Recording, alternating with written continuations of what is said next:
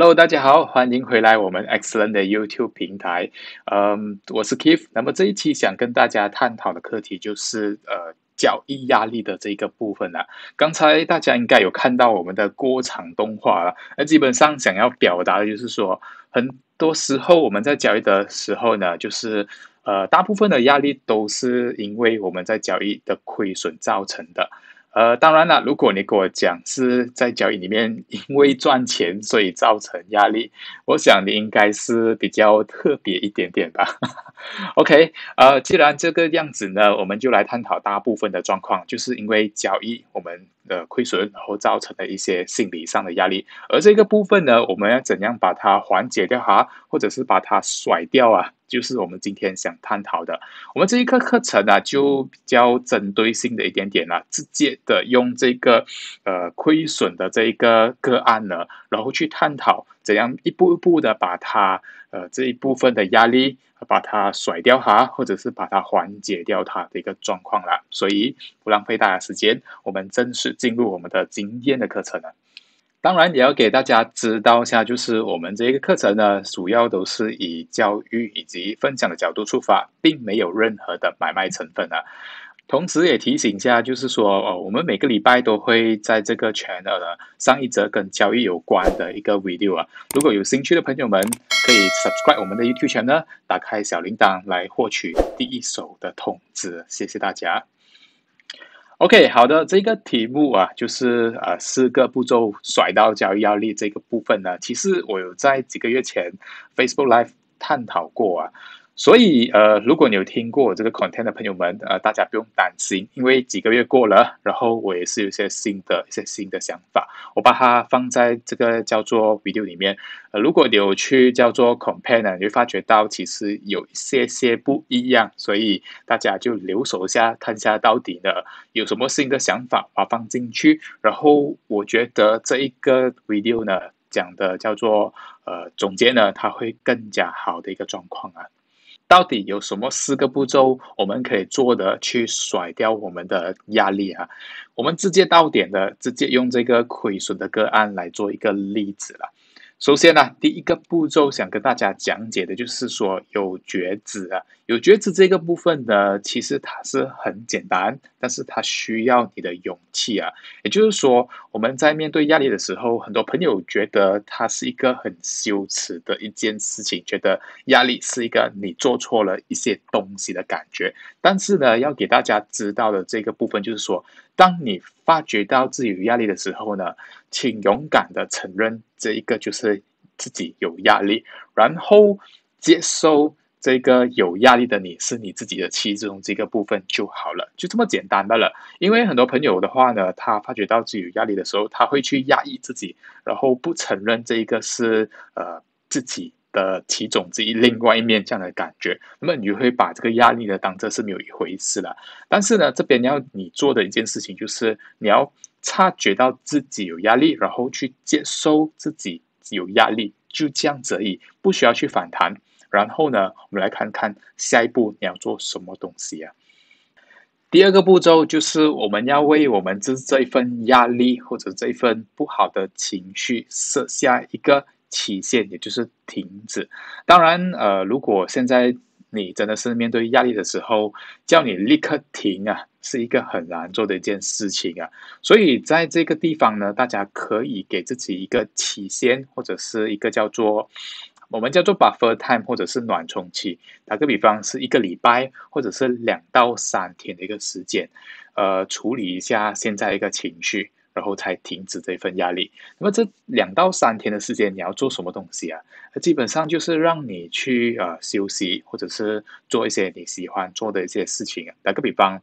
嗯，可能你去找一些你喜欢吃的食物去吃，或者是看书啊、看戏啊、和朋友聊天啊等等。主要是要让你放松心情就好了。它就好像你看戏，然后做一个叫做按那个 pause button。去停止它，也就是说，这两到三天，你先放松你的心情，放松你的心情啊，然后过后呢，呃，两到三天过后，你才正式的回来面对这个压力，也就是说，以一个叫做最轻松的状况去面对这份压力啊。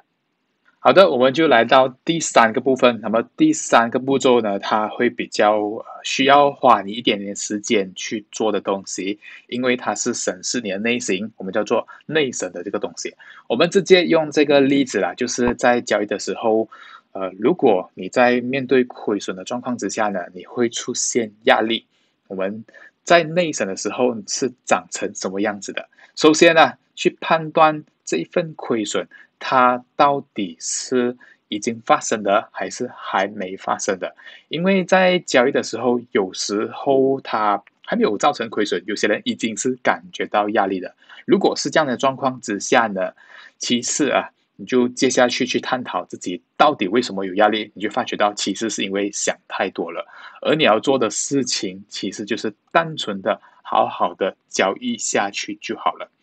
但是呢？有些朋友讲，这一份亏损它已经是发生了，那么我们要怎样继续内审下去啊？首先，它可能出现的场景就是问一问这一份亏损，它到底有没有造成 margin call 啊？如果有造成 margin call 呢，你接下来要做的事情，或者是接下来内审的事情，就是呃，你要去补足你的资金，或者是处理掉这张合约。这样的一个状况就好了，所以就把它一一的列出来，接下来会发生什么事情，或者是为什么这样的一个状况啊？举个例子啦，它我们讲啊，在亏损的时候可能没有造成 margin call，但是呢，你的心里面呢就是有点不爽，就把它写下来，就是心里面不舒服这样状况，然后去探讨一下为什么不舒服啊？可能的答案呢就是说。其中这个可能性啊，就是你可能就是有一种不服不服输的一种心态啊。那么基本上这个叫做你是比较自负的人。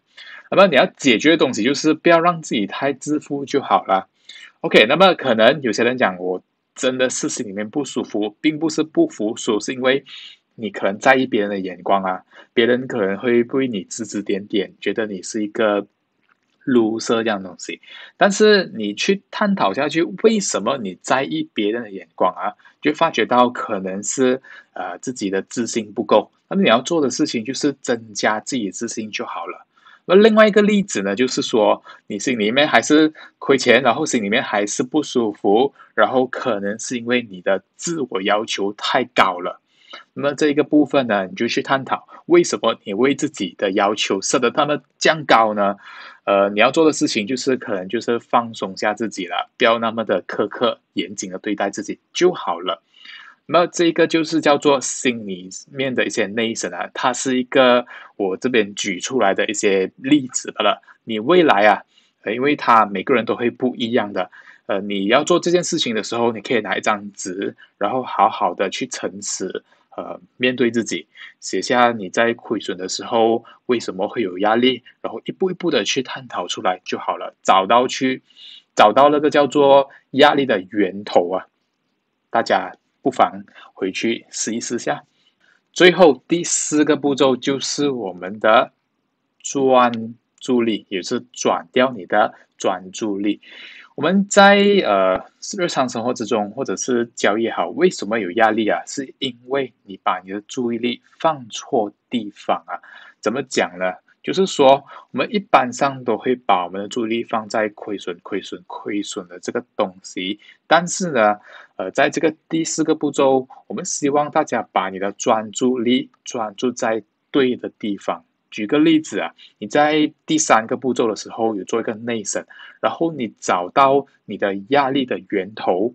过后呢，你要做的东西呢，就是把你的专注力从这个亏损的这个部分呢，把它移到那个压力的源头。打个比方，如果你在交易的时候面对亏损会是有压力，是因为你怕中 margin call 呢，那你要把你的叫做。新的专注力专注在你要找更多的资金进来啊，而可能呢，你要做的事情就是。你省下你的日常的开销，把更多的钱放进去你的交易户口，或者是找一些新的呃 income source，然后把更多的钱放在交易户口，而不是每天都在担心或者是害怕亏损，然后一直有压力的一个东西。那么在你这样做的状况之下呢，你会发觉到整个事情呢，它是会有新的一种进展，然后呃这个压力的部分呢。会慢慢的把它淡掉这样的感觉，所以呢，就是说，第四个步骤要给大家知道，就是把你的专注力专注在对的地方，而不是一直重复循环的专注在这个压力的部分，然后让整个事情呃不断的出现这种负循环，然后没有任何进展这样的一个结果。好的，以上就是这个分享的四个步骤，然后啊，在座各位在未来。交易的时候面对压力，或者是在日常生活之中面对压力的时候呢，不妨可以去 practice 一下，然后让自己甩掉这些压力的状况啊。呃，感觉上就是说，希望呢，就是通过这个四个步骤，然后大家可以从一个叫做黑暗的小房间，然后走出一个比较光亮的地方，然后让你在呃交易好，或者是面对压力的时候，呃，把它甩掉。然后让自己保持回来一个更加开放以及更加轻松的一个心情。最后啊，也非常感谢在座各位啊看完我们今天的视频，如果有学到东西，不妨给我们一个 like 点个赞啊。呃，或者是帮我们削出去这个 video 啦。当然，如果你还没有订阅我们的朋友们，记得帮我们把那个 subscribe button 按下去，然后啊，打开小铃铛。我们今天呢就探讨到这一边了，然后我们下一次再见。所以，拜拜。